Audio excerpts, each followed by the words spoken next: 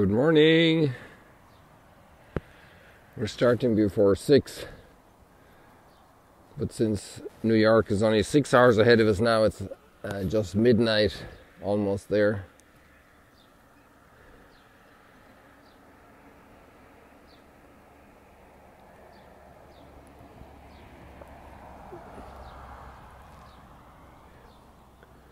What's fascinating is the two the two pictures I just sent you. This is the northwest direction here, over Lebanon, and there's so much light in the clouds. And where the sun is coming out here on the east, it's all dark. But at the moment I took that picture, there was still some opening between the level of the Golan and the clouds, and so you had that beautiful light effect but the clouds closed it out very quickly. So who knows how this is going to be. We'll keep our eye on it and see when the sun appears. I thought it was going to be completely dry, but I discovered there was some rain. There was actually even water uh, back further on the parking access here of the camping ground. And it wasn't so damp over at Magdala, so I'm not going up on Mount Arbel because I'm sure it got a good dousing with some shower, very probably. So we leave that for another day. The rain that was promised for today was not on the program on the prognosis yesterday evening, and yet some came. So not much. So we'll stay on the dry.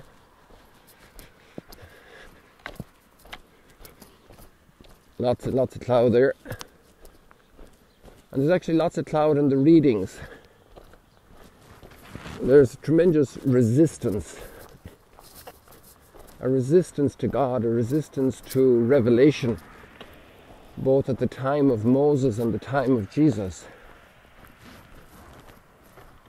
The whole theme of resistance in the human heart. Sometimes, even among human beings in friendship, especially in marriage, a resistance to talk to each other, maybe even among siblings, between neighbors. Something has happened and there's a deep resistance. The mystery of resistance in the human heart.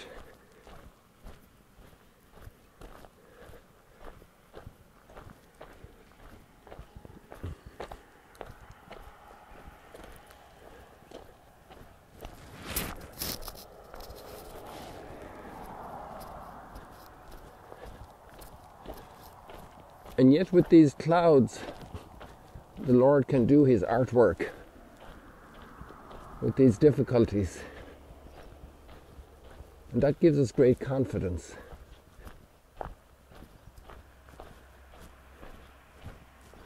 We have a perspective over time. And we look back and we say, How foolish of them to make the golden calf, which is the story today. How foolish. How could be this? How could they be so ignorant? How could they be so despicable? How could they be so ungrateful? How could they be so unrecognizing? How could they be so blind? But we have to be careful about throwing stones because we might be in a glass house ourselves. The human condition, the human heart, the battles we go through, the wrestling that story of Jacob wrestling with the divine presence or emissary is so eloquent of our frequent condition resisting.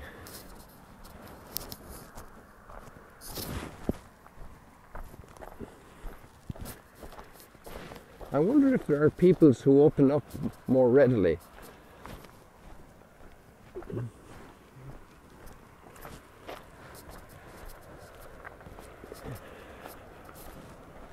because there's such a variety in everything. Maybe there are. But one thing is for sure the Israelites, in a certain sense, chose to struggle with God, to resist. It, many of them, you know, we can't uh, globally um, paint that picture just with one big sweep because you have Abraham, you have Moses, you have the prophets, you have Hannah. But there's been a very, very clear history of resistance to God. And you know, there's a gift for us in that because it tells us that even the most resistant won't stop God doing his purpose. You know, if your kids playing on the court and you know the the great basketball player among the kids what satisfaction is in beating up a kid that doesn't know how to hold the ball in his hands or doesn't know how to dribble but he beats a, a good one. You know, the, when there's a, a, great game is when there's a great a great uh, challenger. And God wanted to show us that He wants to take on everyone. He wants to take on everybody. Nobody is outside of God's reach. It's a great thing about then people like Mary and Joseph. You know, Mary is the exact opposite of that. Mary is such an example of openness and docility, full of grace.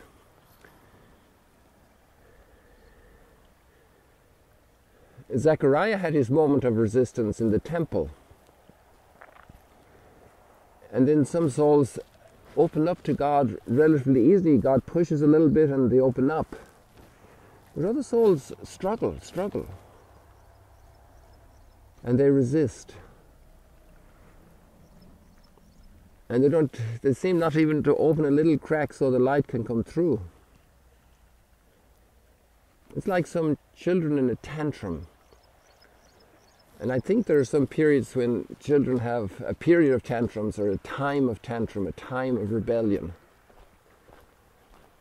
I don't know, it was three or four years of age, or I know some teachers love teaching uh, in America would be fourth, fifth graders because they're just so ready to learn and they're so cooperative. And but then you have the teens, you know, the sophomores. I remember it was not so easy they were going through an inner turmoil, an inner self discovery, a sense of purpose. Why am I here? Why am I doing this? Does it have any meaning? It's not so easy to learn diligently when you're in that situation. I remember one school in Ohio, there was a, a teacher teaching fifth graders, and he always asked to teach the fifth graders. And he loved teaching the religion class because they were so hungry and so thirsty. So, this whole theme of resistance to the light, resistance is saying, wow, this is really getting beautiful.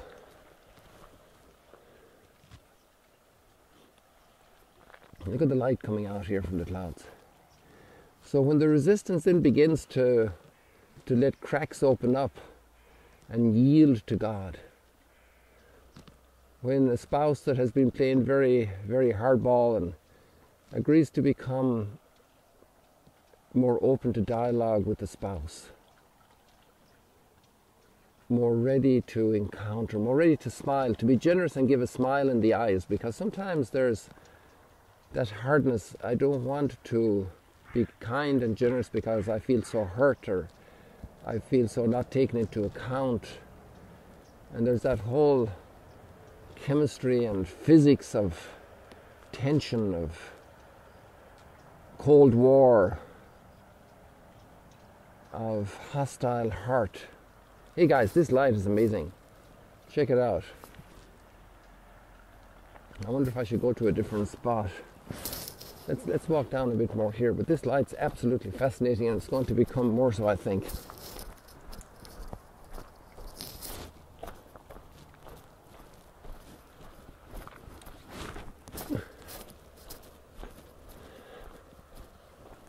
Hey guys, look at this. And the wall of resisting cloud breaks down.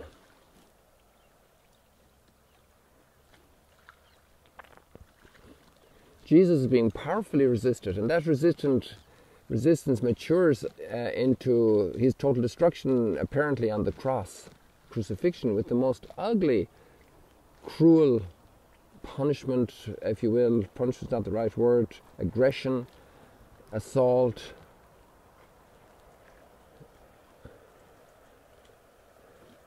The amazing thing about the heart of Christ is openness to the Father. I always do what the Father wants. You know, Jesus is absolutely the epitome. I mentioned Joseph and Mary. You know, Joseph in his dreams, he always said yes to the angel. to the inspiration. He was supposed to take Mary. He was supposed to go to Egypt and so forth. Um, he uh, he was very. He was supposed to come back, go to Nazareth and not to Judea. You know, he was accepting the instructions of God. He didn't wrestle with God. He looked for direction from God. And and Jesus, of course, is the maximum. And Mary advocates that. He says, Do whatever he tells you. Don't resist Jesus. Don't resist Jesus. That's Mary's instruction. Don't resist Jesus.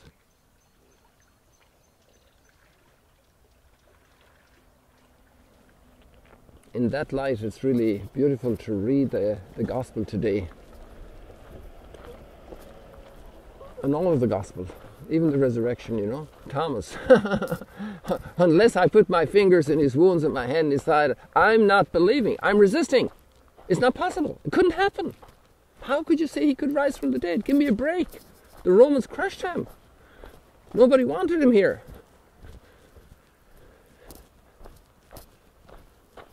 Hey Thomas, put your finger in my hands, put your hand in my side.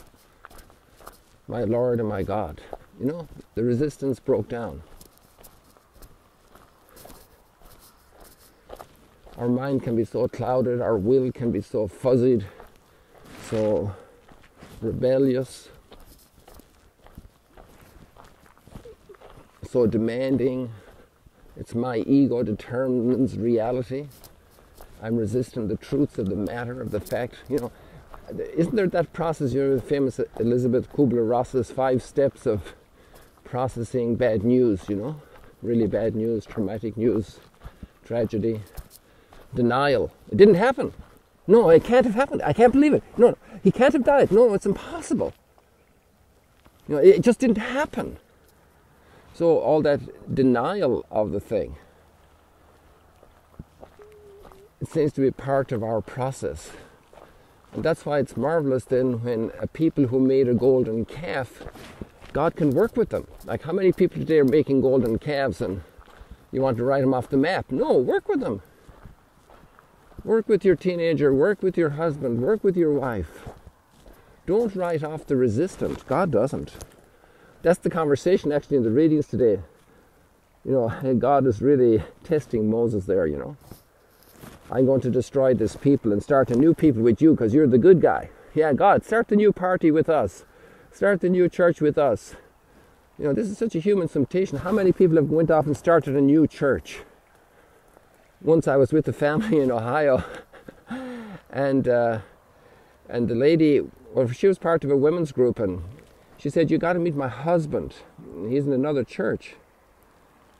And I said, "Sure, delighted to." And uh, she said, "It won't be easy." And so we got together. We, I think there was a little dinner in the family. You know, we were chatting, and, and uh, so I said, "Tell me about your church. It's very, very interesting." You know, and he said, "Oh, we had a great pastor. He was a great pastor back in the 1920s. That's a hundred years ago, people. It goes around quickly. I wasn't there at the time. Okay, my dad was. So he was alive at the time so he was doing great work, and then he had this amazing gift in his heart to go to Africa, to be a missionary in Africa.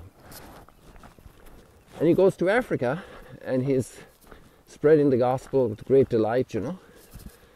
And then he comes back, you know, he's probably in more senior years, maybe he's turned 50 or 60 or something. And when he comes back to America, he discovers all kinds of drifting from Scripture, all kinds of acquiescence to hedonism, to mammon. It wasn't the church he remembered anymore from the from the twenties. It was uh, it was uh, a church in decay, a church, you know, allowing divorce, a church contraception. Abortion still was not on the agenda at all, neither many other things. So he decided, well, I'm going to found my own church. You know, I, I understand his intentions.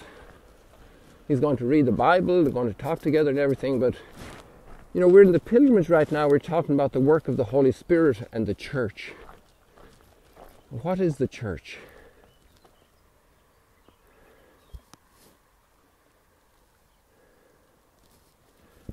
I think these are oleander. One lady told me from England, she was a volunteer here.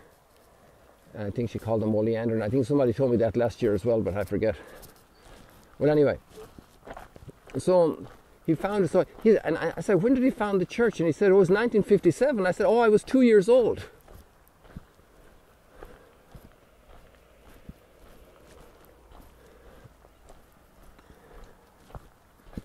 How do we work with resistant communities, with resistant people? And the first thing would be to realize that we are resistant ourselves. We have had our chapters of resistance, our chapters of cloudy thinking, our chapters of rebellious mind and heart many times, you know. And how God is merciful with us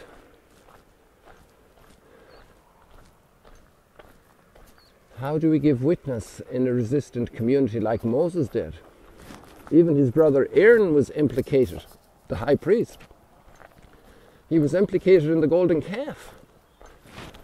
And he was just as effective with excuses as Eve was, as Adam was. Adam, oh, Eve, Eve gave me. The woman you gave me, she was the problem. Oh, the snake was the problem. oh, Aaron, my brother, was a problem. You know, we love passing the responsibility to others. I don't like being blamed for anything. I personally don't. It's a very uncomfortable feeling, especially if it's a serious matter. We love letting ourselves off the hook.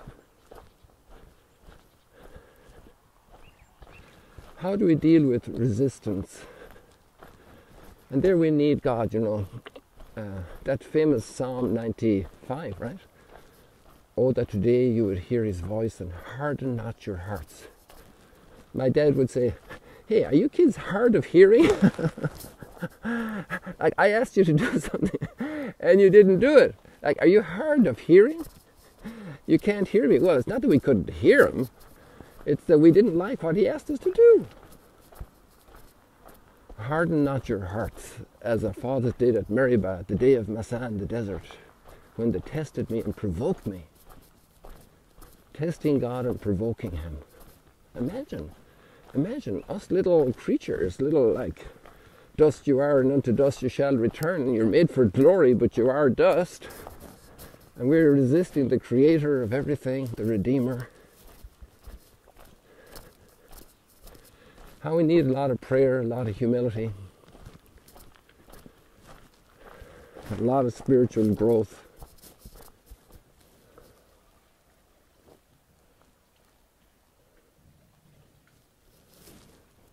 And the faith, the faith, the pilgrimage and faith in the spirit of Abraham, our father, the ability to be able to wait for God's moment, to be able to bear those who are resisting, who are countering the gospel, who to live with them, to continue living with them, to live with the resistant, to have that patience, those broad shoulders that I turned my face like flint, Jesus says in Mark's Gospel on the way to Jerusalem. You know, he's going to, he's preparing his heart for suffering. It's part of the vocation of being a witness of God.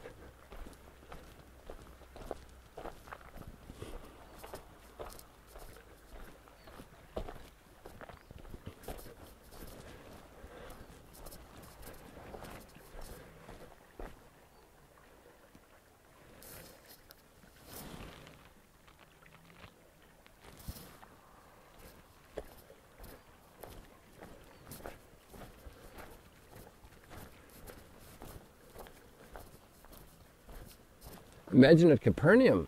It's Jesus himself, you know, it's not just Moses.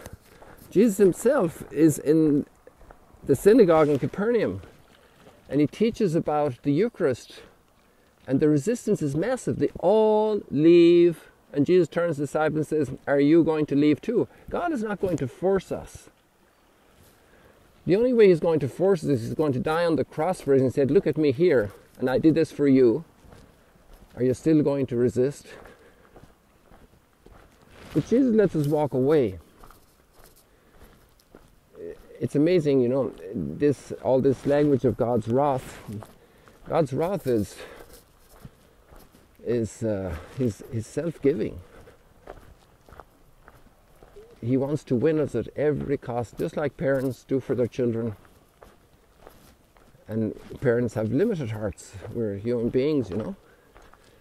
So we see parents Uh, making big sacrifices for their children. And maybe the children will afterwards have rebellious moments and forget what their parents did for them.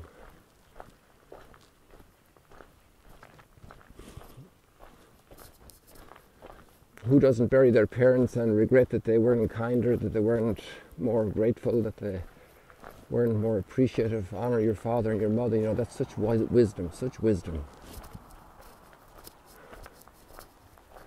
Look at all the light coming out above the clouds. And I'm sure in God's plan, He's bringing a lot of light out from behind our resistance. And we'll see it in eternity. How we grew in the experience of His mercy and His love. People, that's just an amazing sky.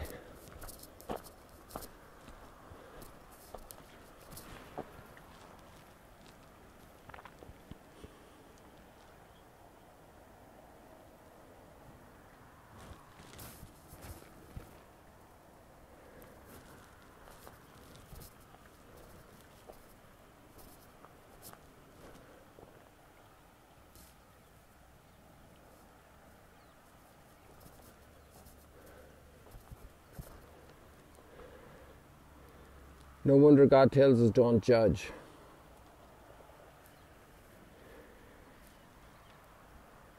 And to take out the, the splinter from our eye before we take out the plank of our brother's eye. Is there something wrong with that statement?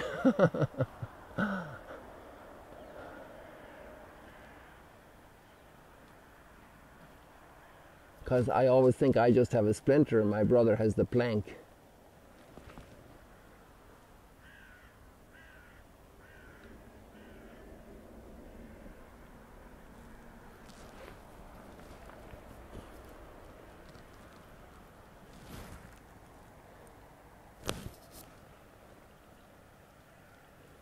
I imagine some people are getting some nice screenshots here.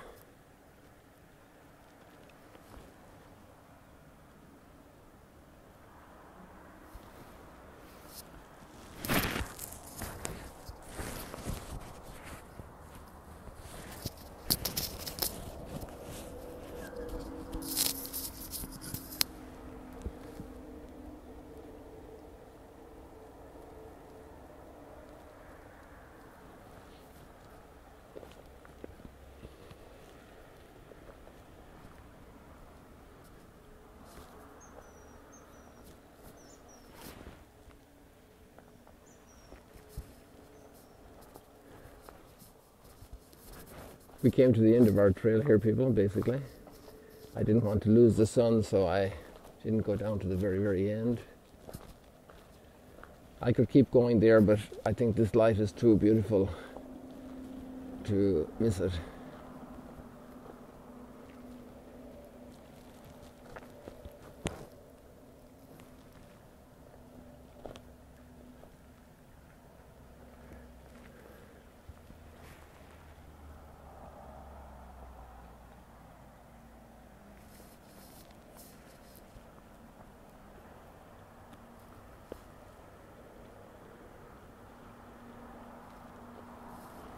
So, in a certain sense, also, you know, we're a little bit helpless in front of our own hearts to a degree, and we need to go on our knees and pray.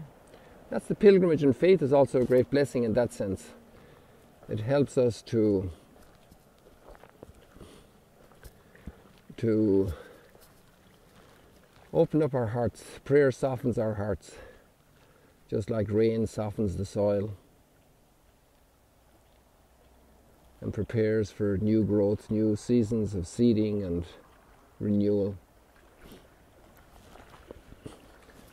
I think today the theme is the church is uh, also is apostolic, to be an apostle. And it's so easy to be an apostle to nice people who appreciate you, but to be an apostle to people who reject you. And that can also be in many families today. Families of devout members can have great opposition in their own family. And to be there giving patient, gentle, kind, persevering witness. The church is apostolic. We're sent to everybody. And we're not sent out for lots of applause and appreciation. We're sent out to give witness. How many have given the witness of their whole lives? These are the great witnesses to be uh, sent out. Why am I sent out? How am I sent out? How am I going to go out? How is my heart when I go to the supermarket? A little prayer in my heart, Lord. When I go out today through kindness, a smile, letting somebody in front of me at the cashier, help me to give witness.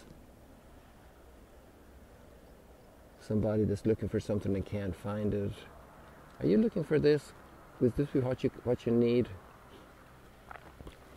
There's one lady here in Haifa, and she's incredible she's always finding people at the dentist, at the beach, at uh, and she's on her years. She's a mature lady. She has a big, big smile, takes up half her face, and she's always telling little stories about people she meets, the most unsuspecting people she meets, and she's always doing. She's getting to nice conversations because she's uh, such a, a bundle of joy and I'm sure she has her issues. If you go to a dentist, it's not because you don't need to, usually.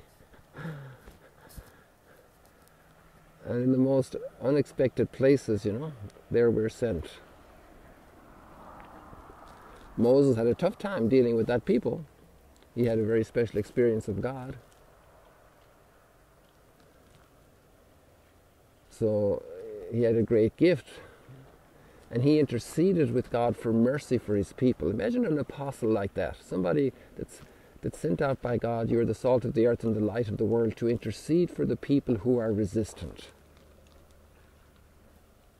To beg God for them. What a heart of mercy.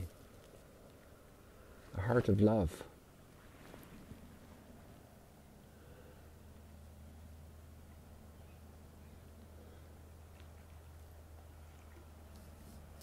Lord, change my heart, soften my heart, not just for you, but for everybody, even for the criminals, for the human traffickers, for the drug lords. Let me be a blessing for them. Let me bring your rain and your light down in their lives so that their fields can bear wonderful crops, so they can continue to experience your goodness, so they can open their hearts one day. Lord, reduce the evil people do so that more people don't suffer horribly.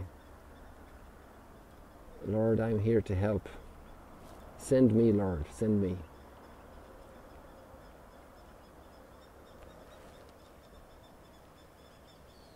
Thank you, people. Thank you for this wonderful morning together. You know, if you guys weren't there, you I wouldn't be coming out here. You guys got me out here all this year. Oh yeah, I'm turning the wrong way here. There we go. So thank you. God bless you. See you later, alligators.